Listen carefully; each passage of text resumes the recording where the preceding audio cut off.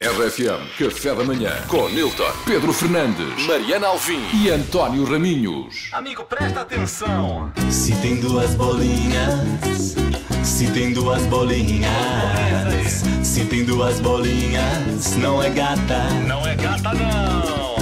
Uma rubrica pra esclarecer todas as dúvidas da humanidade. Esclarece aí. Ou quase todas.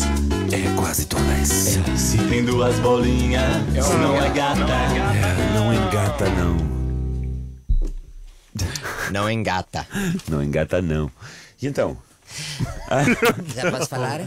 É, Já posso? hoje não temos bem o Nilton, temos um advogado em estúdio que vem apresentar eh, queixa das lesmas e dos ursos. É isso? Bom dia, doutor. Ah, b- b- bom dia só sou para si, não é?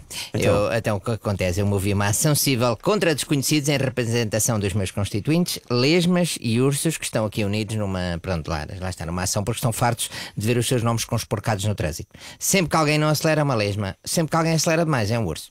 Entretanto, ok. tentei também que o camelo entrasse nesta, nesta queixa, porque a pessoa que anda devagar no trânsito é uma lesma, a que acelera é um urso e a que faz as neiras é um camelo. Mas os camelos vão entrar numa ação conjunta com as bestas. Com as bestas? Assim, porque no trânsito as pessoas juntam sempre seu camelo, és uma besta. Pois, eh, as pessoas usam muito os animais para ofender, não é? Nem sempre. Por exemplo, aquele que corre, ui, é cá um leão, e tem força, ui, é cá um touro. Está Então, bem? portanto, não há nenhuma queixa de leões e touros. Mais ou menos. Porque as pessoas usam muito também seu corno e o touro não gosta. Está bem? Portanto, vou entrar também com uma ação com touros e bodes.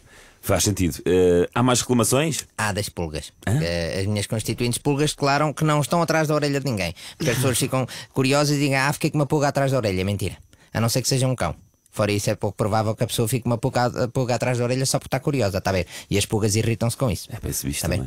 E os ratos também, porque há pessoas que têm uma fome e dizem, ah, tenho um ratinho no estômago. Se tem um ratinho no estômago, porque é que ainda está com fome? Hum? Um ratinho no estômago dá para alimentar uma família de chineses para aí três meses seguidos. Está bem? Não é? É abusivo para o nome dos, ratos. E os ratos eh, eh, vão se unir agora aos papagaios, galinhas, cobras, pintos e cavalos noutra ação também. Então, os ratos vão nisso aos papagaios, galinhas, cobras, pintos e cavalos noutra ação. Foi isso que Foi o ele que eu disse. acabei de dizer. Sim.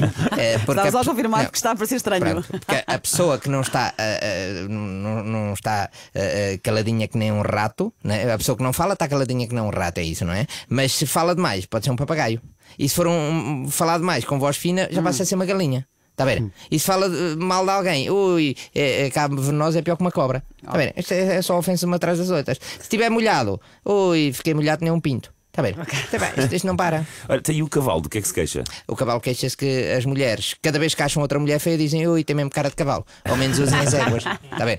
O cavalo é isso que ele quer dizer. Está bem visto. Olha, Pronto. então pedimos imensa desculpa pela nossa parte, não voltamos a usar essa terminologia. Agradecia. Está bom? Obrigado. Então adeus, sua, Adeus, senhor advogado. Pronto. Bom sua, dia. sua besta. Coisa. Lá está. Já começou. Desculpa, peço desculpa, foi mais forte do que eu. RFM Café da Manhã com Nilton, Pedro Fernandes, Mariana Alvim e António Raminhos.